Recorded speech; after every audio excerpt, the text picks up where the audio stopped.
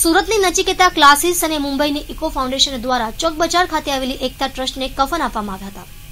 એકતા trust દ્વારા બિનવારસી લાશોની અંતિમ ક્રિયા પોતાના ખર્ચે કરી સમાજમાં એક સારું કામ કરતા હોવાના કારણે તેમને કફનનું દાન આપવામાં આવ્યું હતું. જે સંદર્ભે એકતા ટ્રસ્ટની ટીમે આ સંસ્થાનો આભાર માન્યો હતો. હું અરવિંદ વિરાસ, ઇકો ફાઉન્ડેશન તરફથી આજે મુંબઈથી અમે સુરત આવ્યા છે. સુરતમાં જે એકતા ગ્રુપ જે છે, એકતા ટ્રસ્ટ છે, જે બિનવારસી લાશનું તેઓ સંસ્કાર કરે છે અને એ સારી એવી સંસ્થા છે કે જે અત્યાર સુધીમાં જેટલા બી બિનવારસી છે, તેઓ, તેઓને લાશને એ લોકો અંતિમ ક્રિયા કરી કરી ચૂક્યા છે. તો ઇકો ફાઉન્ડેશન અને નચિત નચિકેતા ક્લાસીસ તરફથી આજે અમને કફન આપવાનું એ કાર્યક્રમનું અમે આયોજન કર્યું છે. મારું નામ રવિભાઈ રવિભાઈ સોસા છે અને હું નચિકેતા ક્લાસીસ ચલાવું છું સુરત શહેરની અંદર.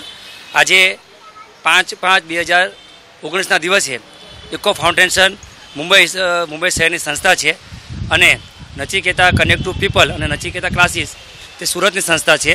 બંને સંસ્થા સાથે મળીને આજે અમારા પચીસ જણની, પચીસ જણના અમારા સભ્યો છે એ સાથે મળીને આજે અમે સુરત શહેર ચોક બજારના અંદર એકતા ટ્રસ્ટ કે જે સુરત શહેરની અંદર આજે ઘણા વર્ષોથી લાવારીસ લાશનું તે લોકો અંતિમ સંસ્કાર કરે છે.